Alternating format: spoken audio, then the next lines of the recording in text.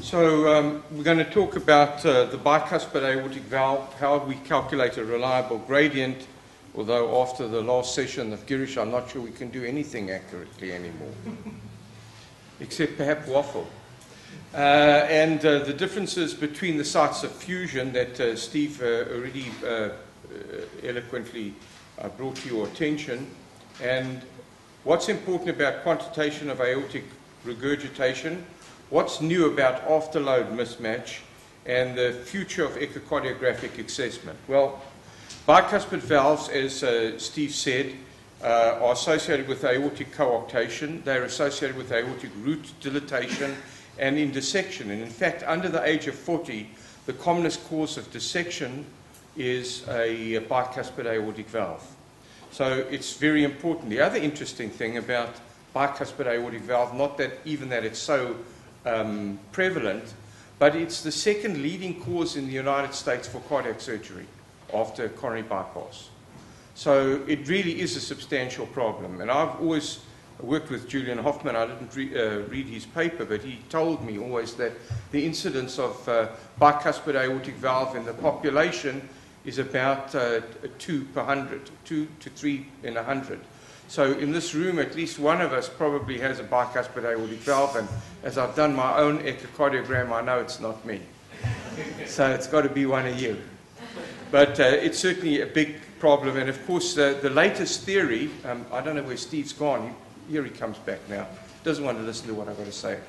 But um, the point is that I, don't, I believe that, um, that the, the aortic root dilatation is related to the um, metalloproteinase uh, abnormalities. But if you look at uh, bicuspid valves or aortic stenosis in general, and you look at them on autopsy, there's almost always a localized swelling. So, albeit that there really is a genetic mechanism. There is specifically an area where there is more trauma in the aorta, and I think the aorta responds to that in an abnormal way.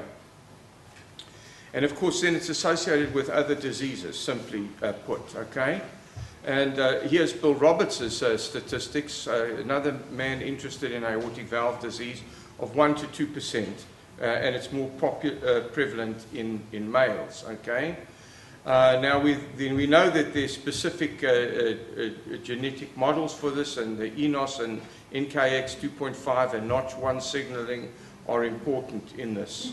And this fascinating study that came from uh, Spain about bicuspid aortic valves. And uh, I'm going to talk about the study that we did as well. But it seemed that there was a different pattern of each kind and what the Spanish study suggested was there's a genetic basis for the fusion as well. So that there's different genetic patterns on fusion between left, right, and uh, right non coronary fusion. It's a wonderful paper to read. Now, looking at the aorta, looking at a, a, a, root dilatation, we can measure the, the root.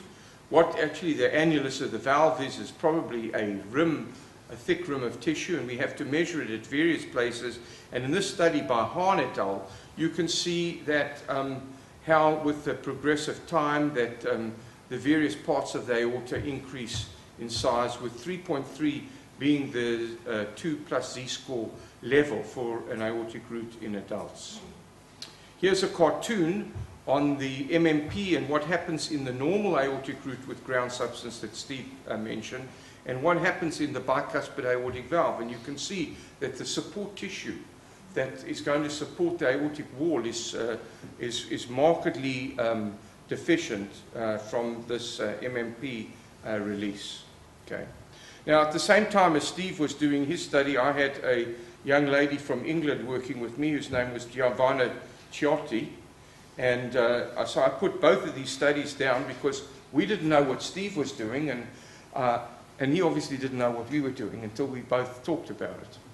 But uh, we, we looked at the study, and I've always thought of uh, looking at the aortic valve very much like a Mercedes Benz because that's frankly what most doctors see on their way to work in the morning, is that little sign on the front of their car. But um, there's nothing that could be further from the truth. So, what we looked at in these patients is we looked at the sizes or the areas of the different cusps. And I think echocardiography is a nice technique for looking at this because you can look at a large number of patients without looking at their autopsies and get some idea of the cusp fusion. And here's a normal patient, which is, uh, uh, I turned uh, in, this, uh, in this way from above, the non-coronary, the left coronary here, as we look at it echocardiographically, is on the other side, and the right coronary. And you can see that the areas of these cusps as a percentage of the total area is completely different, with the non-coronary usually being the biggest cusp and the left coronary cusp being usually the smallest cusp. So bicuspid valves. Well, we can see a normal tricuspid valve by both a surface echo and also by means of um, uh, transesophageal. Here's a bicuspid commissural cusp with, uh, with uh, left, right commissural fusion. And the way to look at this, to my mind, is to look at it in real time. Uh, we normally record these by means of a, uh, a still, uh, a cine capture and then slow the speed down so that we can see the motion because sometimes the valve may look like a tricuspid valve in the closed position and the, the fusion is only partial and when it opens it's really a bicuspid valve. So I think looking at the valve with motion gives you an idea what you're doing. Now the first thing that interested me about this is we saw that in the normal aortic valve that um, the cusps were all of different sizes and um, that there's no cusp that ever made up 50%. But if you look at almost all of the bicuspid valves that we look at, you'll see that the non-fused valve occupies almost 50% of the diameter of the valve. And here's an echocardiogram, uh, I beg your pardon, an autopsy specimen that shows it's matched up for this uh, particular entity. Now, our, findings for left-right fusion, there you go. You see, it looks like it might be a tricuspid valve when it's closed, but when it's open, it's clearly opening as a, a, a, a, a, a bicuspid valve. And again, if you look at the non-coronary cusp, it's much larger than the normal non-coronary cusp. Now, right non-coronary leaflet fusion, uh, was here, we, we noticed certain differences between these, particularly with aortic root measurements. And I don't know why that is, but certainly it seemed that when we had dilation of the aortic root uh, with the right non-fusion, it was usually more profound and diffuse than with the left-right fusion. And you can see that transesophageally as well. So what did our valve population look like? We had only 117 patients in our group, uh, there was impairment in 73% and no impairment in 27%. Uh, pure stenosis 32, mixed lesions 27, 11% were pure insufficiency and the rest of them were uncalculable. I don't know where the rest of the numbers landed up. And I mean, everybody's got one, and I think, uh, you know, this is uh, uh, very rare to find. We had to go through the entire database and uh, found one patient where it looked like there was a fusion of the right, uh, uh, the left non-coronary cusp. And that's really the only example, so we took it out. And as I said, we measured the dimensions of the various cusps, and you can see uh, the area of the non-fused coronary cusp was much greater in uh, bicuspid valves than its corresponding fellow in a non-fused cusp. So if it happened to be the left coronary cusp, it was much bigger than the normal left coronary cusp, and the same is true as if it was a non-coronary cusp. Okay, diseases uh, that we found in our population, obviously coarctation is the highest. Um, we only had 34% uh, of those cases. You'll see uh, how, how to calculate the statistics makes a difference as who's got what. VSD, subaortic stenosis, mitral valve, patent ductus, and then a straddling of all other kinds of diseases including, in fact, pulmonary stenosis, Ebstein's mal uh, malformation, AV canal defects, and so on and so forth. I mentioned this the other day when we talked about calculating a, a, velocity gradient, and we, we showed in the Doppler physics how you can uh, use uh, pressure recovery time, but it doesn't offer a whole lot of advantage in terms of the actual assessment of gradient other than the mean gradient, which seems to be more or less what we get when we take these patients to the cath lab. The other thing that you can do for the aortic valve is use the continuity equation, assuming that whatever goes in comes out. And if we know the diameter here, and we know the velocity here, and we know the velocity there, then if we put these on a simple formula like this, we can calculate the actual aortic valve area. It seems to work a lot better again in adults than in children because I don't think that that we are actually looking at the same kind of population of stenosis in adults as we look at in children.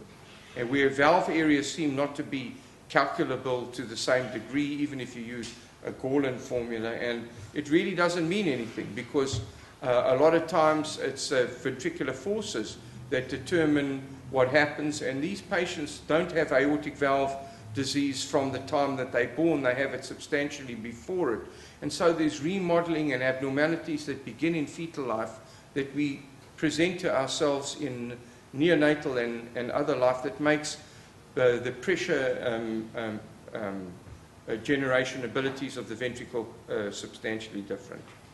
So this is our statistics, 59% uh, left-right and 37% uh, right-non and 4% the other way around. Okay?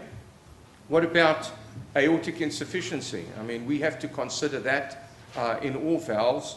And there's a study uh, by Lloyd Tani and uh, LuAnn Minich from uh, the, uh, the Pediatric Heart Network Center, the furthest west one in Salt Lake City. And what they found is the most reliable way of calculating the degree of aortic insufficiency was to measure the jet width against the diameter of the aortic outflow, and that if it was over 40%, it was severe. If it was under 20%, it was mild. And obviously, the group in the middle was moderate regurgitation. And the only other thing that worked well for them was retrograde abdominal flow, which was merely another reflection of, uh, of blood pressure. So it worked probably better than blood pressure because it's so hard to see but uh, retrograde flow um, determined uh, how or the severity of the aortic insufficiency. Pressure half time um, is an adult form looking for it. Uh, it works the, the, reverse way of mitral stenosis. The flatter the curve, the less the uh, uh, degree of insufficiency. The steeper the curve, the more in, uh, severe the degree of insufficiency. And again, the numbers are very simple. If it's over 400, it's mild. If it's under 200 uh, uh, um, meters per second, uh, it's uh, severe, and the moderate ones are in between. Here's an example of looking at retrograde abdominal flow. In addition to just looking at this on a quantitative basis, you can also integrate the signals. And again, if this is more than 40% of that as a VTI, that means you've got significant aortic insufficiency. And here's just a color simple, simple color signal showing uh, retrograde flow because the flow in this aorta should be coming down towards you in a red or yellow color, which it does, but in diastole, the blood flow is going back. So a very simple way of looking at the severity of aortic uh, regurgitation. Okay, and you can do that around the arch as well. And I've got the so-called haberdasher's approach of mild, moderate, and severe. A little while ago, a study uh, in, uh, from uh, Dallas came out talking about the use of magnetic resonance imaging, you know, that wonderful technique that Dr. Hasbani keeps on talking about, and looking at the relationship of ventricular wall um, uh, hypertrophy to the cavity. And that was work that was started a long time ago by a guy called John Ross, who works at the University of California in San Diego, where he talked about an afterload mismatch. So ventricle should hypertrophy in order to maintain wall stress. And so uh, if that happens, that's a concentric type of hypertrophy. And if the wall doesn't rotate appropriately, of course, the, the, um, the stress on the ventricle is increased, the amount of work and myocardial oxygenation that's needed is increased. And he produced this very beautiful series, or the group produced this very, Khouri is the gentleman's name here, who produced a, a very beautiful series of MRI pictures which allowed you to calculate this and formulated a prognosis based on, on MRI. And so I looked at all of this data and said, well, yes, we can do that on echo. So we've got normal, intermediate, dilated, thick, and both uh, on, on these, and we can do that. And we could also uh, use this uh, very unreliable technique of calculating volumes by uh, 2D and uh, get an example of mass volume thickness. And we know that the mass of the ventricle is almost always 1.2 times as much as its volume. So if you calculate the volume of the myocardial mass, and this is a, it, it holds for any size ventricle, the mass of the ventricle is always more than 1.2 times the, the, the volume of the ventricle. And when you uh, get afterload, Can you repeat the ratio? yes, the mass of the ventricle, if you calculate ventricular mass by a reliable technique, either M mode or use our uh, two dimensional technique, which the ASE recommends, uh, the mass of the ventricle in terms of its grams is greater than the volume of the ventricle in, uh, filled with blood by 1.2 times. Okay? That's called the mass volume ratio. And when that is distorted, then you have all sorts of abnormalities. And this is what you get when you get this afterload mismatch. And it's a, really not a favorable sign and, uh, of. Uh, okay, Dr. Friedberg's just told me he's going to be talking about this in greater detail. So, Dr. Sanders mentioned this uh, infective endocarditis, and no, no talk on echocardiography is, uh, is adequate unless we show you a flying goober. And so here are examples of vegetations on the valve by echocardiography. Here's one at the time of surgery, and unfortunately, this little patient had a, a vegetation, but it ro- eroded through his aortic wall, and he had a myocardial mass, uh, a, um, um, um, a pericardial, a myocardial abscess, pericardial abscess. Aortic root abscess is the word I was looking for. Now, with critical aortic stenosis, especially in the newborn, you see uh, not often just a hypertrophied contracted ventricle, but here an example of this afterload mismatch with poor function, with endocardial fibroelastosis, with dilated pulmonary veins, with the atrial septum bulging uh, into uh, the right atrium, uh, indicating the stress. And here's the doming little aortic valve uh, down below. And we can see that by a number of different uh, views and techniques. Uh, and you see um, um, really the uh, effect of the ventricle uh, from the, this amount of stress. So that's all I have to show you in terms of the echocardiography, and uh, we'll let Dr. Friedberg talk about the next group. By the way, um, I need to